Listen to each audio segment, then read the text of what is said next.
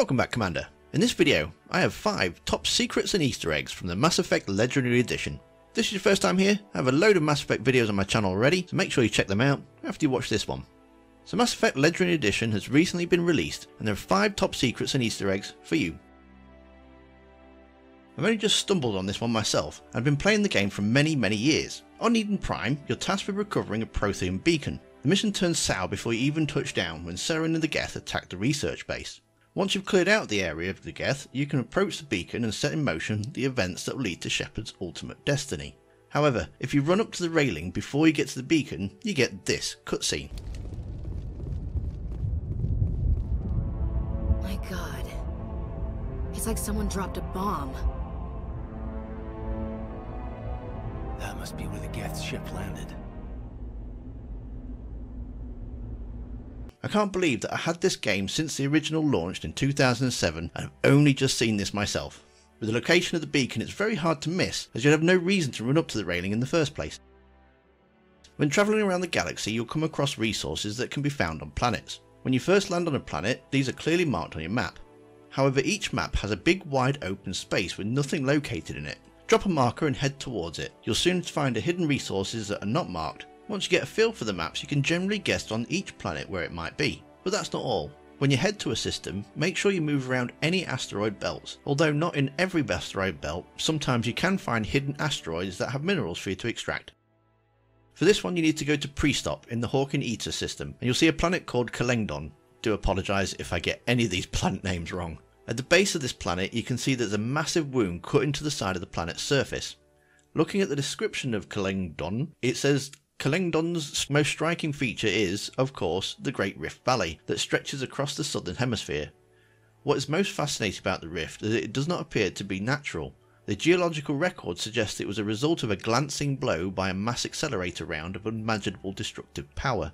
This occurred some 37 million years ago. In Mass Effect 2 you need to board a dead Reaper to acquire its IFF to be able to travel through the Omega 4 relay. What's interesting is this dead Reaper's orbiting the planet Mnemosyne which is also located in the Hawking Eta system.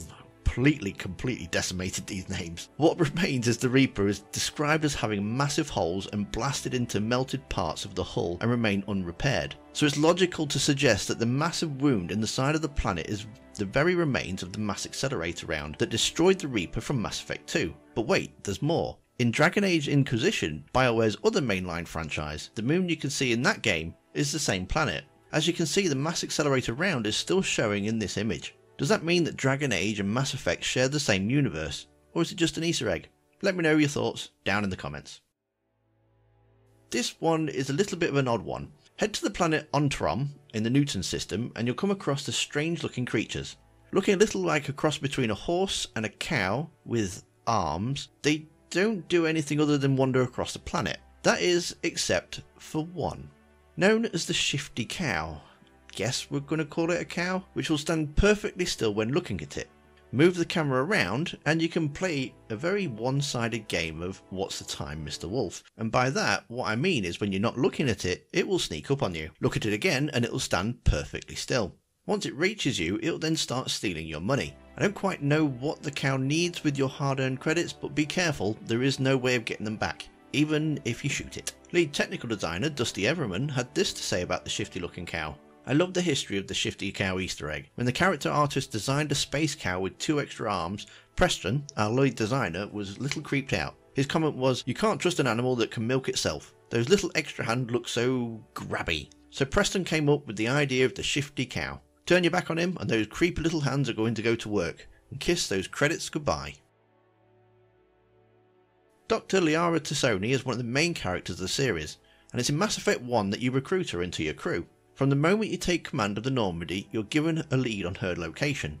Normally you'd want to pick her up as soon as possible, as you get to spend some time with her, use her in missions, and even has a connection to one of the main antagonists. Getting her early also gives you time to maybe form a romantic relationship with her. But what happens if you're not actually interested in doing any of that? Well, leave her to the very end and something happens to her. In order to recruit Liara, you need to free her from some sort of energy field she's accidentally suspended herself in. She's unable to move and completely stuck unless someone comes to free her. Having played a good few hours by this point, it's unsure how long exactly in the game she's been trapped for, but we can assume it's been a while. You see, Liara started to go a little bit crazy. She will assume that you are just a hallucination, and you'll get some funny dialogue. Can you hear me out there? I'm trapped. I need help. Are you. Are you real? Oh no, don't be stupid, Liara. Humans do not come here. You're hallucinating. And talking to yourself. oh, goddess. I am going to die here. We're here to save your sorry ass, so snap out of it.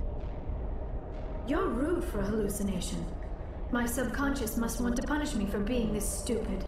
Once back on the ship, she'll get really annoyed that she's missed all the exciting adventures that you've been on, and you'll get this little gem of dialogue. Sovereign, the cipher, a, a Prothean beacon. I, I'm sorry, this is all a bit overwhelming. I just. I need a moment to collect myself. I have spent most of my adult life investigating the Prothean extinction. Decades of intense academic study and field research. And for what? I never thought it would end like this. You show up and tell me all the answers just fell into your lap. It isn't fair. All those years wasted. See my first impressions of Mass Effect Legendary Edition, click the links on screen now. Thank you to all my supporters, including Nerdy Dude and Beverly, and I'll see you next time. Commander.